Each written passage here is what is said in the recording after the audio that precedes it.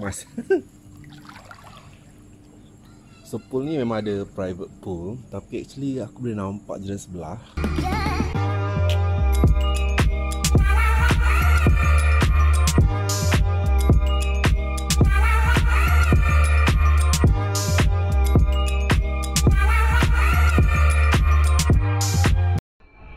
Okay, uh, Assalamualaikum. So hari ni aku ada nak pergi satu tempat Yang aku accidentally booking. So sebagai orang bujang aku tak ada apa pun. Lagipun satu hari je. So aku ada full pack of bag. Pack full of, full pack of bag. Tak ada bag penuh lah aku pack Dengan aku punya dompet So basically aku terbook tu. Basically aku menang satu kontes Aku dapat discount untuk rate hotel tu lah dan lokasi dia dekat Gambang kat Kuantan. So the best part kalau pergi Belah Belah Timur aku paling suka dia punya view. Sebab banyak macam bayar bukit-bukit sikit. And so the first place yang wajib aku singgah kalau pergi Kuantan pagi zaman Tori lah. Memang aku suka makanan kat situ. Ha, ni dia punya makan memang power. Dan resort tu basically dia masuk dalam kelapa sawit Dulu kalau tak salah aku Aku baca bekas lombong And then ada owner ni Dia transformkan jadi satu resort. Ha, Ni dia punya entrance Untuk masuk. Check in dia tak lama lah Sekejap je. Lepas tu bila kau dah check in Nanti ada Apa? Kereta kecil eh Bawa tahu nama dah Bawa hang pergi bilik.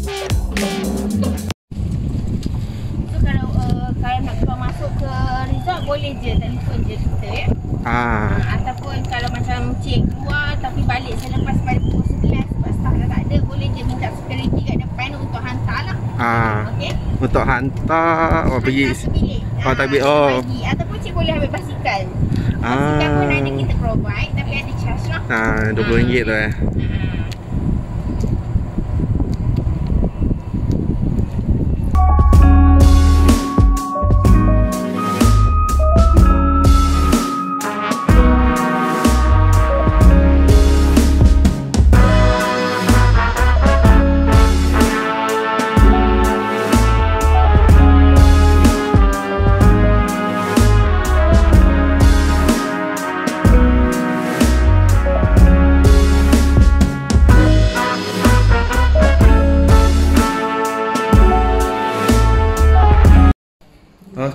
Assalamualaikum. So aku dah check in dah.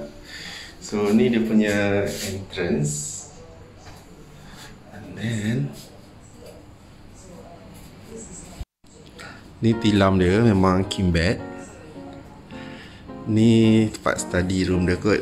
Laptop lah meja. Dan kita ada TV Kita ada sejadah aku punya.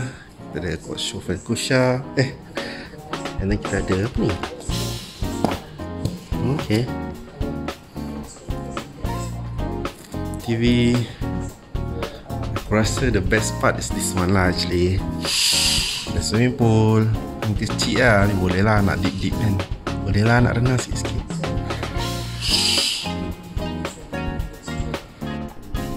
So ni dia punya toilet. Besar lah. Besar sepanjang panjang bilik. Tak ada buang air.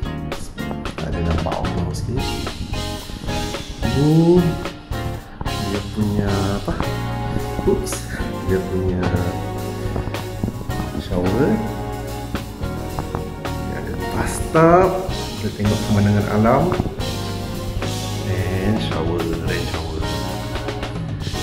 Ok lah. Tapi aku rasa harga dia a bit expensive lah in a way. So sebab ni 750 semalam. Kalau 500 aku 400 lebih aku rasa aku boleh lah. Cheap sikit kan.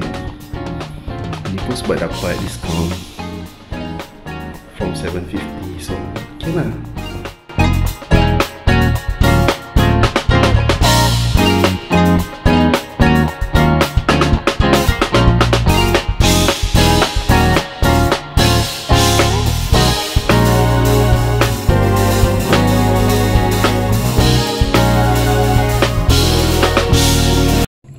Hai. So Dekat villa ni memang ada Pool. Pool dia aku rasa Just nice lah untuk kau swim kan. Aku rasa ada dalam 50 meter maybe. Tapi itulah. Mak Aku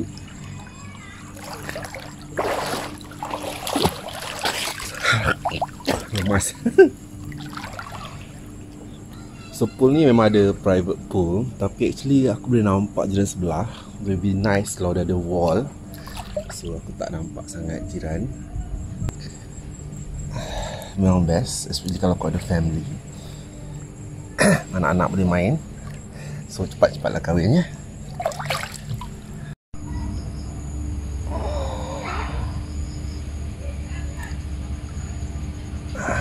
kita dah kahwin tu buat bini pula